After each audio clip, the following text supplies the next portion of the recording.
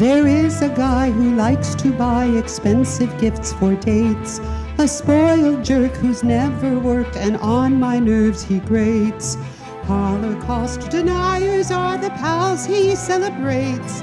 I don't think he's an asset to the Congress. It now turns out he's not just gross, he's also quite a perv. But when his actions get the condemnation they deserve, he claims that he's the victim. Boy, he's got a lot of nerve. It's shocking that this ass is still in Congress. I'd like to say a word in his rebuke. He really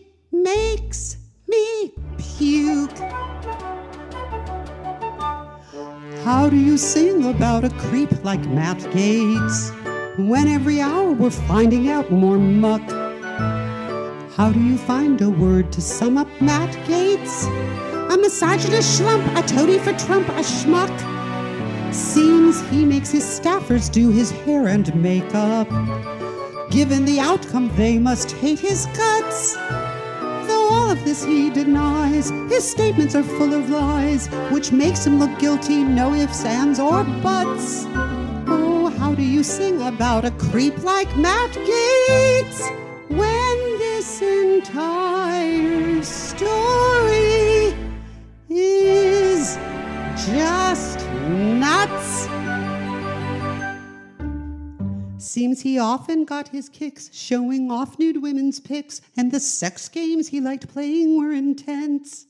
When confronted with this junk, he just says he's not a monk. Yeah, we know, but that's not much of a defense. New laws banning revenge porn, he opposes with such scorn. He says those photos should be his. Come take a look. And what caused the most outrage? He preferred girls underage. He's a pedophile, a sex trafficker, a crock. Proving his crimes is ludicrously easy.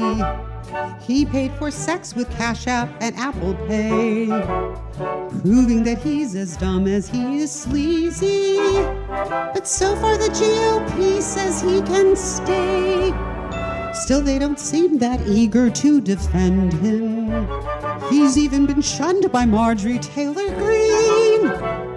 Ridiculous things he'll say won't make this crap go away. A girl's not a woman when she's 17.